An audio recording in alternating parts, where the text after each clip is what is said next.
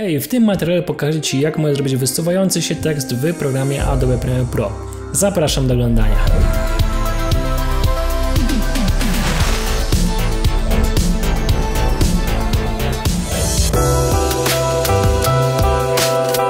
Ok, jesteśmy w programie. Pierwsze co tworzymy sobie oczywiście nasz tekst. W moim wypadku będzie składał się z trzech wyrazów. Wasz oczywiście może mieć więcej, więc będzie kinto, na przykład niech będzie new trailer, nie wiem, cokolwiek. Niech tak będzie. Teraz musimy sobie stworzyć e, wygląd tego tekstu w miarę ostateczny, czyli e, krój tekstu, jego umiejscowienie wybieramy sobie właśnie w tym momencie. E, I tak samo wielkość kroju jest ważna, by wybrać sobie w tym momencie i wszystko sobie ustawić. No i potem możemy przejść do animacji. Więc sobie wybieram jaki krój chcę mieć. Zmieniam sobie jego trochę rozmiar, aby to wszystko ładnie wyglądało centruję sobie na początku i tak mój tekst będzie finalnie wyglądał. Teraz zaznaczam sobie wszystko i wybieram sobie jakiś rażący kolor, czyli na przykład jakiś mocno cyan czy coś takiego, co będzie się mocno oznaczało. Dzięki temu, za pomocą tego będę mógł dopasować pozycję pojedynczych wyrazów, e, aby wszystko ładnie się ze sobą wiązało. Więc duplikujemy teraz warstwę tekstową, Ctrl-C, Ctrl-V, Ctrl-V i Ctrl-V. Dzięki temu mamy jakby cztery warstwy włączamy widoczność e, w trzech i zostawiamy jedną warstwę, na której edytuję w taki sposób, że zostawiam jeden wyraz i zmieniam jego kolor już na finalny, czyli w moim wypadku będzie to kolor biały. Ok, pierwszy tekst mam, więc teraz włączam widoczność drugiej warstwy i edytuję.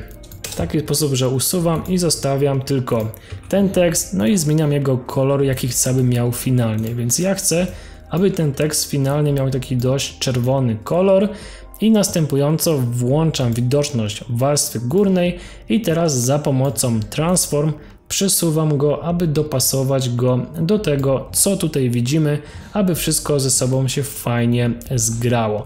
Więc teraz wyłączam widoczność tej warstwy i tej i ostatnią warstwę zostawiam w taki sposób, że usuwam dwa teksty. Mamy znowu ten tekst kolor ustawiam finalnie jaki chcę, czyli biały, włączam widoczność tej warstwy, no i teraz w Transform Position dopasowuję wielkość do tego co mieliśmy, no i w tym momencie mogę usunąć ten górny, no i odpalić widoczność tych kolejnych i mam już gotowy tekst podzielony na trzy wyrazy. Więc teraz, kiedy już mam to zrobione, przerzucam efekt crop trzy razy na moje ujęcie, czyli raz, 2 i 3. Teraz przesuwam go na sam początek, aby się łatwiej animowało.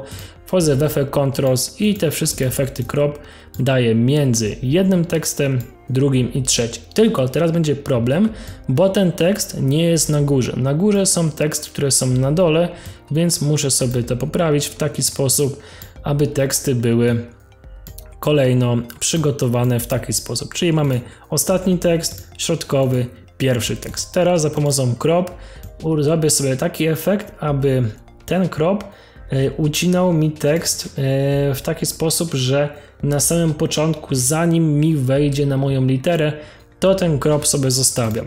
Teraz kolejny crop, mamy drugi tekst i robimy tak samo, czyli tak zanim mi zacznie cokolwiek usuwać, czyli jakby chwilę dokładnie przed. 4-4 to będzie, zobaczmy. Nie, 4-6 jest za mocno, 4, 5 i pół. Ok, będzie ok.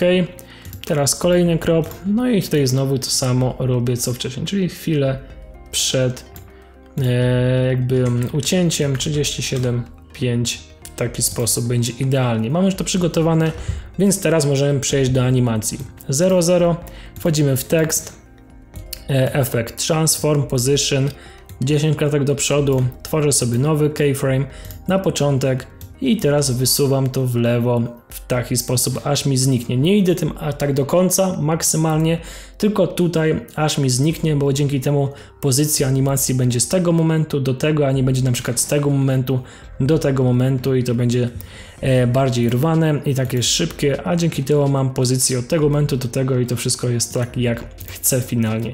Więc Bezier, aby wyłagodzić, złagodzić animację, rozwijam sobie, zaznaczam i robię sobie właśnie taki zjazd, aby tutaj mi ten tekst zwalniał. Dzięki temu mi wyjeżdża i na końcu mi zwalnia. Ok, dziesiąta klatka. Idę sobie teraz na kolejny tekst, czyli na new, który tutaj mamy. New, teraz znowu odpalamy, wybieramy transform position, klatka kluczowa i teraz na 20 klatkę, tworzę sobie nową klatkę, wracam do pierwszej klatki kluczowej i znowu ukrywam ją do momentu aż mi zniknie w tym momencie, no i teraz idę do tej temporary bezier, rozwijam i znowu animację tutaj robię łagodniejszą w taki sposób, więc już mam to zrobione i ostatni tekst, czyli trailer w tym wypadku Idę sobie teraz na 20 klatkę mam, więc position 30 klatka, czyli w moim wypadku sekunda i piąta klatka. Zaznaczam sobie, idę na pierwszą klatkę i ściągam to tutaj, dopóki mi zniknie. Ostatni temporar, bezier, rozwijam i ściągam to na dół w taki sposób. No i dzięki temu mamy animację wysuwającego się tekstu już przygotowaną, no i wygląda bardzo fajnie. Więc jak widzicie, efekt jest bardzo prosty do wykonania. Bazujemy tylko na triku z kropem i tekstem i nic więcej nam nie jest potrzebne do wykonania. Więc jak macie jakieś pytania, dawajcie znać w komentarzach. Ja Wam dziękuję za oglądanie. No i do zobaczenia wkrótce. Trzymajcie się, cześć!